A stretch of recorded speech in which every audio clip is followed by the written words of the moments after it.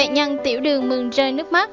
Bài thuốc quý từ đậu đen khiến bệnh tiểu đường một đi không trở lại, cả đời không tái phát. Uống đậu đen xanh lòng là một phương pháp đông y của truyền xuất xứ từ Trung Hoa. Bài thuốc này nằm trong tập sách Lãnh tra y thoại của Lục Đình Phổ, đời nhà Thanh. Đậu đen xanh lòng được coi là loại thuốc quý, có tầm cỡ thần dược. Đây là một phương pháp thanh lọc cơ tạng, tuy thô sơ, đơn giản nhưng lại có hiệu quả rất cao. Có thể chữa được các chứng bệnh và có những khả năng sau. 1. Thanh nhiệt, hoạt huyết, giảm đau, trị ốm vặt. 2. Nhuận trường, trị táo bón, rối loạn. 3. Giải độc trong bộ ruột, tiêu thủy, làm mạnh gân khỏe cốt, không đau nhức các khớp xương, làm hết phong thấp và tê mỏi. 4. bổ tim, gan, thận, làm mắt sáng, thính tai, đen tóc. 5. Tiêu trừ một số bệnh linh tinh thường xảy ra cho người cao tuổi.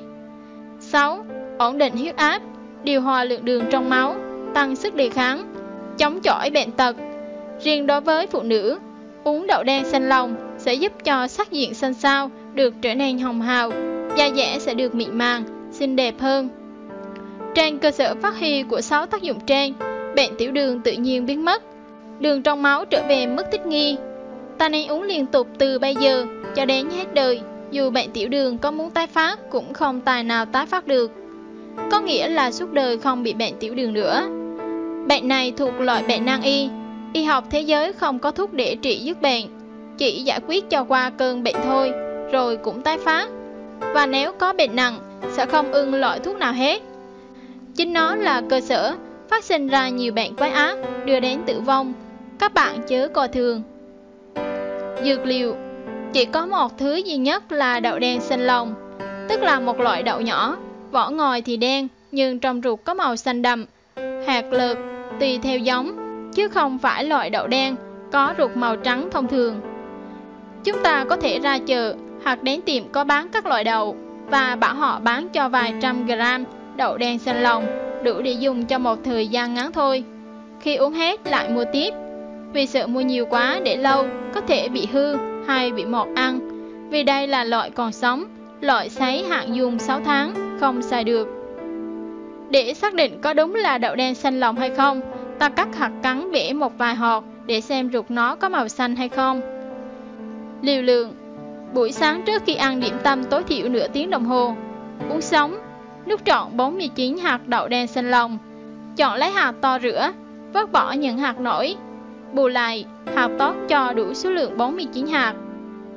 Uống nhiều nước chừng nào Tốt chừng ấy Và liên tục như vậy mỗi ngày. Uống mãi rất có hiệu quả. Thật là đơn giản Rẻ tiền, dễ thực hiện Đúng là thực phẩm chức năng.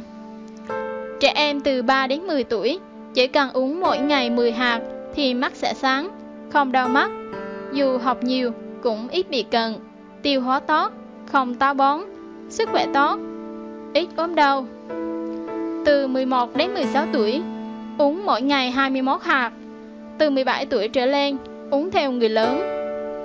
Công dụng Khi đậu đen xanh lòng uống vào trong ruột, sẽ nở ra và hút các độc tố ở trong ruột vào nó rồi đem các độc tố ấy theo phân ra ngoài.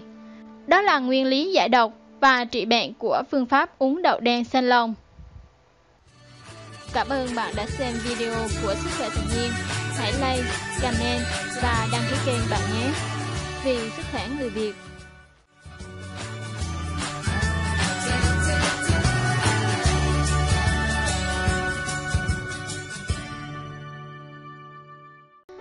Bác sĩ đồng y tiết lộ để viên đá lạnh sau gáy, tác dụng sẽ khiến bạn bất ngờ.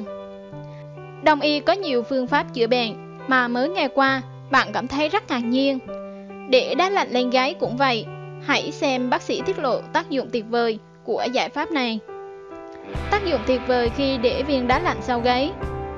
Theo bác sĩ Thái Hiệu Cương, Bệnh viện Trung y tỉnh Sơn Tây Trung Quốc, nếu bạn cảm thấy mệt mỏi, căng thẳng, cơ thể thiếu năng lượng, hãy nằm sấp để mấy viên đá lên hiệp phong phủ, bạn sẽ nhận được cảm giác thư thái tuyệt diệu, nhiều căn bệnh biến mất, cơ thể như được trẻ hóa bất ngờ. Đông y cho rằng mỗi hì trên cơ thể có một công năng riêng biệt, Khi tác dụng thích hợp lên chúng, có thể điều hòa được những rối loạn bệnh lý, tái tập lại hoạt động sinh lý bình thường. Huyệt phong phủ được coi là nơi gió tập trung vào. Thông qua chăm cứu, các thầy thuốc có thể trị các chứng bệnh như đau đầu, gáy cứng, lò dôm, xa tử cung, mũi nghẹt, trúng phong, hay quên, ù tai, mắt hoa, nóng nảy, người lạnh toát, hồi hộp, đánh trống ngực. Vị trí của huyệt này khá dễ tìm. Khi cúi đầu, gân cơ thành nổi lên ở chỗ bám vào hộp sọ. Khi ngửa đầu, chỗ khe xương lõm xuống, có thể sờ được đáy hộp sọ. Huyệt ở chỗ lãm giữa hai cơ thang, ngang với đáy hộp sọ. Cách thực hiện Nằm ấp hoặc ngồi cúi đầu, đặt một cục đá viên cỡ 2 x 2 cm lên trên huyệt phòng vũ, giữ nó trong khoảng 20 phút. Nếu đá tan, có thể thay viên khác. Có thể giữ viên đá bằng một cái khăn quấn. Nên thực hiện thường xuyên vào buổi sáng, lúc bụng đói và buổi tối trước khi đi ngủ. Lúc đầu, bạn có thể cảm thấy hơi lạnh, nhưng sau 30 đến 40 giây, bạn sẽ có cảm giác thấy những dòng chảy nóng đổ về phía huyệt này. Những ngày đầu tiên, bạn sẽ có một cảm giác hưng phấn do sự giải phóng của endorphin vào máu. Tác dụng cơ bản với sức khỏe. Cải thiện chất lượng giấc ngủ.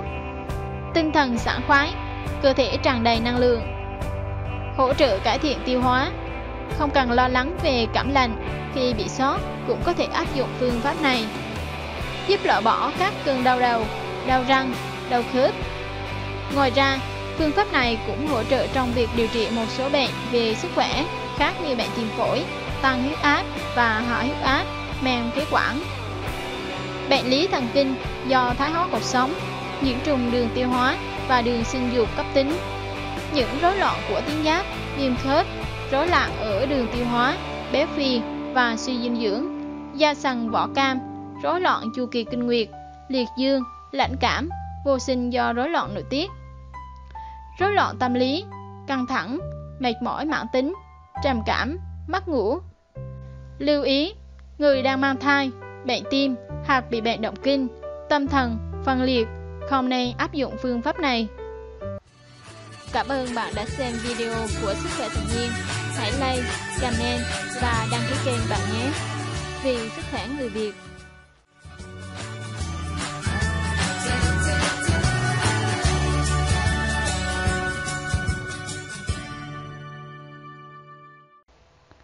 Dứa đang vào mùa, tôi ăn liên tục trong 10 ngày, rồi giật mình vì kết quả không thể ngọt hơn, đến giờ vẫn choáng váng. Cần gì tốn tiền đi spa hay sử dụng các loại mỹ phẩm bạc triệu, ra chợ mua dứa ăn thế này để da trắng, thân hình mảnh mai đến ngỡ ngàng. Dứa là loại trái cây giàu vitamin A, C, canxi và phosphor. Nó có tác dụng phòng ngừa bệnh cao huyết áp, điều trị viêm xoang, giảm nguy cơ thái hóa xương có. Ngoài ra, thành phần chất xơ trong dứa hỗ trợ ngăn chặn sự hình thành của lão hóa, giúp da càng sáng, trắng mịn và loại bỏ lớp mỡ dư thừa cứng đầu khó tốt. 1. Giảm cân Giờ đây, thay vì ăn kiêng hay tập thể dục quá sức, bạn có thể loại bỏ lớp mỡ cứng đầu trên cơ thể nhanh chóng nếu chăm chỉ bổ sung mỗi ngày một quả dứa tươi hoặc một ly nước ép liên tục 10 ngày. 2. Làm trắng da Không phải ngẫu nhiên mà rất nhiều chị em lựa chọn dứa để làm đẹp. Theo các nghiên cứu chỉ ra rằng, ăn dứa thường xuyên sẽ góp phần tổng hợp collagen, giúp da săn chắc, mịn màng tự nhiên mà không cần bất kỳ mặt loại mỹ phẩm chăm sóc đắt tiền nào. 3. Trị thâm nám và hỗ trợ loại bỏ tế bào chết. Thông thường, để loại bỏ nám và tàn nhang, nhiều người thường lựa chọn phương pháp điều trị từ các trung tâm thẩm mỹ. Tuy nhiên, thay vì bỏ ra một khoản chi phí đắt đỏ mà không đem lại kết quả như mong đợi, bạn chỉ cần gọt sạch lớp vỏ, bỏ mắt nửa quả dứa tươi, đem xay nhuyễn với mật ong và một thìa nước cốt chanh. Dùng các đầu ngón tay massage nhẹ nhàng khoảng 15 phút, rồi rửa lại bằng nước sạch như bình thường. Có thể nói, đây là phương pháp tự nhiên, rất tốt. Vì vậy, thực hiện điều đặn trong 2 tuần sẽ giúp bạn khắc phục tình trạng tham nám hiệu quả. 4. Tăng kích thước vòng 1 Ngoài tác dụng giúp da trắng mịn, xóa mờ sẹo, dứa tươi còn được xem là loại thần dược kích thích vòng một lép xẹp trở nên đầy đặn, quyến rũ tự nhiên mà chẳng cần đi nâng hay bơm ngược cho nguy hiểm. Trên đây là toàn bộ những gì mà chúng tôi muốn chia sẻ đến các bạn. Hy vọng với vài mẹo nhỏ sẽ giúp mọi người trở nên xinh đẹp và quyến rũ hơn. Chúc các bạn thành công! Cảm ơn bạn đã xem video của Sức khỏe tự nhiên. Hãy like, comment và đăng ký kênh bạn nhé. Vì sức khỏe người Việt.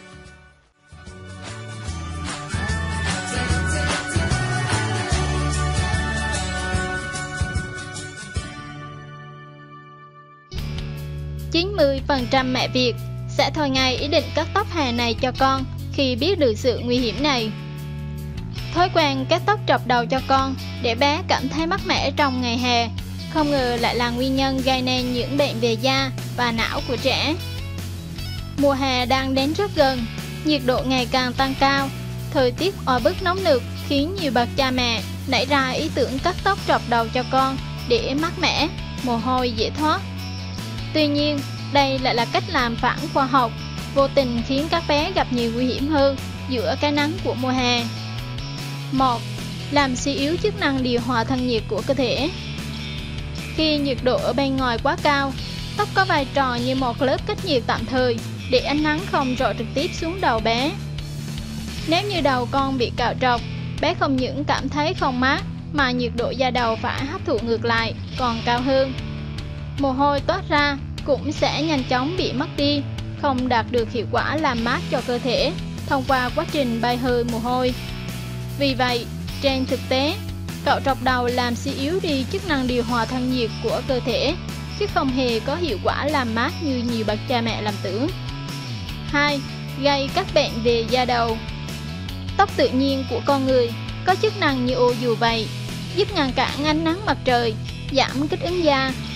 Mùa hè, khi bị cạo trọc, mái đầu trọc của các bé sẽ hứng chịu ánh nắng trực tiếp gay gắt.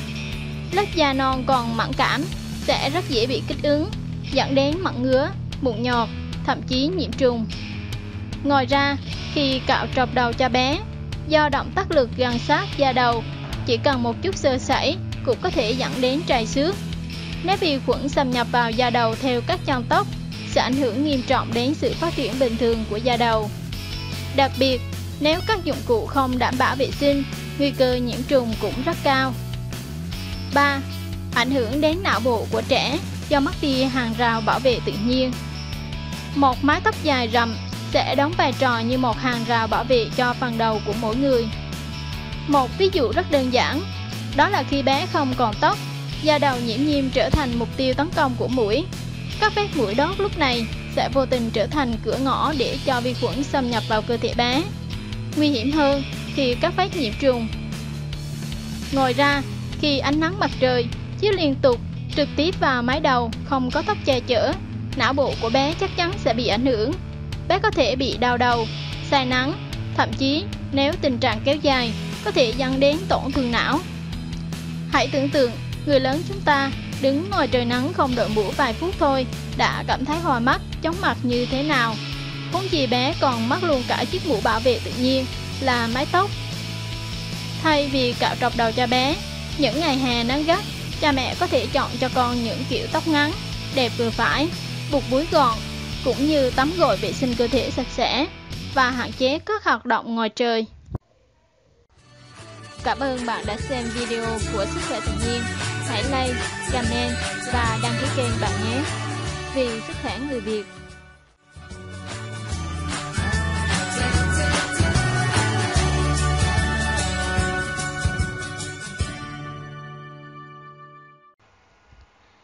Có mật ong, nhất định phải biết điều này. Sau bao lâu thì mật ong hóa thành chất độc, vứt bỏ ngay lập tức. Mật ong chứa rất nhiều dưỡng chất, được cho là phương thuốc bổ, giúp tăng cường sức khỏe và sức đề kháng. Tuy nhiên gần đây, có câu chuyện chia sẻ về một cụ ong dùng thuốc có thành phần mật ong rừng phân phối cách đây hơn 23 năm để chữa ho, nhưng rút cuộc lại nảy ra bệnh khác đáng sợ hơn nhiều. Suy thận và nguyên nhân được cho chính là do mật ong. Vì đâu nên nổi? Nỗi đó nằm ở quan điểm sai lầm mà rất nhiều người đang mắc phải. Rằng mật ong rừng có thể để mãi mà không hỏng, thậm chí để càng lâu càng tốt.